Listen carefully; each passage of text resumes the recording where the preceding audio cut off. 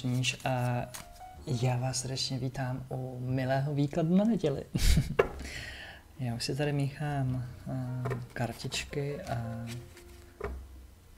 jsem zvědavý, kam nás dneska zavedou.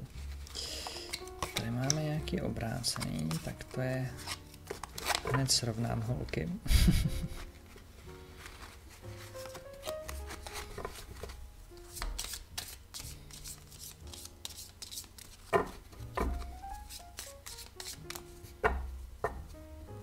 Tak co myslíte, že nám plánujou na ten víkend? Hm?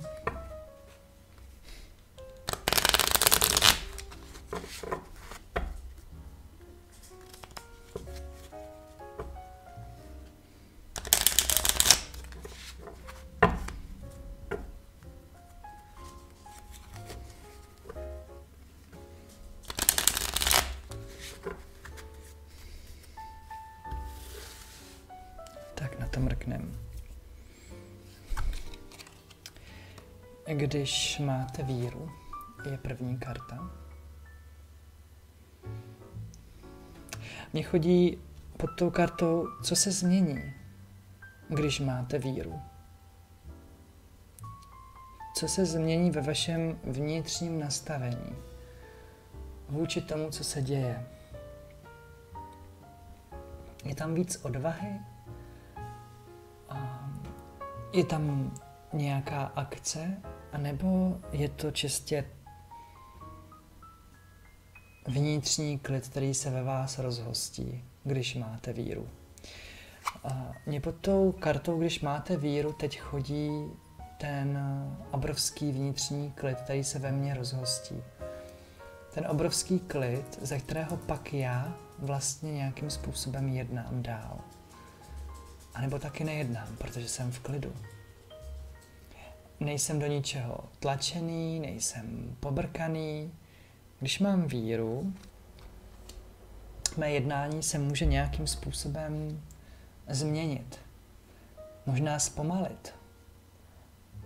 Ale hlavně se nerozhoduju v emocích, rozhoduju se v klidných vodách své duše, kde vyvstává na povrch všechno potřebné. Zeptejte se svých andělů. Ten moment, když já mám uvnitř sebe klid, tak se těch andělů zeptat můžu. Ale jak se chcete zeptat na něco andělů, když pobíháte zleva doprava, mácháte rukama a vaše energie je jako kdybyste hořeli? Jak v tu chvíli se chcete zeptat na něco svých andělů? Možná, že ta panika přichází právě v moment, když člověk nemá víru v to, že všechno dobře dopadne, nebo že mm, se všechno děje z nějakého důvodu. A já, když jsem v klidných vodách své duše, tak se můžu v klidu zeptat svých andělů v duchu. A nebo nahlas, to už je jedno. A v té hladině vody té své duše můžu uzřít jasný obraz toho, co bude, když se rozhodnu tak nebo onak.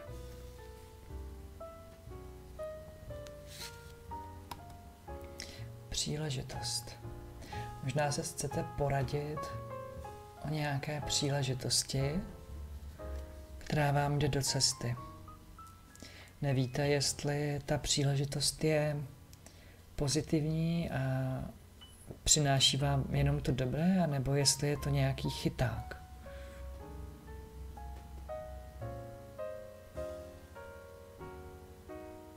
To, co vám jde od andělů a v tom vnitřním klidu, je jasná informace a pak můžete využít také nějakou příležitost, která se vám naskytne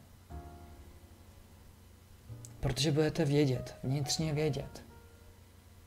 Když budete rozhození, tak tam právě bude ta obava, o které jsem hovořil. Je to příležitost? Nebo je to chyták? Jak se mám rozhodnout?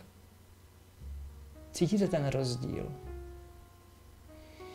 že když člověk má jasno, pak příležitost nemusí ani vlastně chytat za pačesy, spíš jako je brát, jakože tu příležitost vezme za pačesy. Můžete si to představit tak, že po hladině pluje příležitost, která má vlasy a vy v klidu můžete jemně chytit za ty vlasy a nemusíte ji čapat v nějaké rychlosti. Hmm. Je to na vás. na vás je, jak tu příležitost využijete, jak se rozhodnete a v jaké kvalitě se rozhodnete. Co když je to něco křehkého, co můžete rychlými pohyby zničit? Plásáním do vody to zničíte. Jemným uchycením se vám nabídne více možností. Je to na vás. Na nikom jiném. Je na vás, abyste se postarali o svou vnitřní víru, o svůj vnitřní klid, ve kterém se můžete dotázat svých andělů, kteří vám přináší obraz nějaké příležitosti, kterou později vezmete za pačesy. Jste připraveni? Je také informace, kterou můžete získat, že jste připraveni na tu příležitost.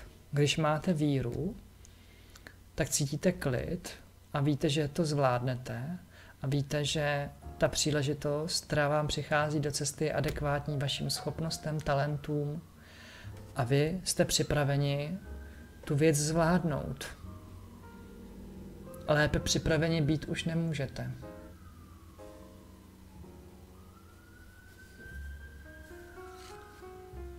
A všechno se to má odehrát velmi blízké budoucnosti, v dohledné době. Musím říct, že ty karty vnímám jako velké požehnání pro ty, co sledují toto video, když si to vezmete, kolik nás je dohromady, vemte si, kolik požehnání nám přichází všem do cesty, že to není výklad pro jednoho z nás.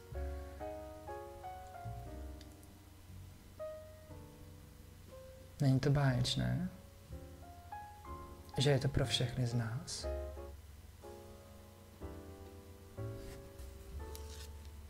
Hledejte znamení. Možná, že máte být aktivnější v hledání znamení.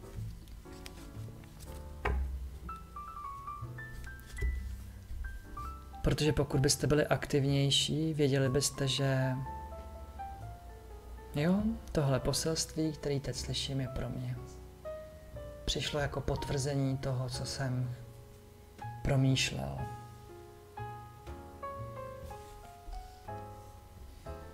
A je to i nabádání k tomu, abyste dál hledali znamení. Abyste se dotazovali andělů. Jakým směrem by vás rádi viděli jít. Jestli máte udělat to či ono. Ať vám dají znamení do deseti minut, do hodiny, do dvou dnů. A vy si udržujte jenom tu víru, to bohatě postačí.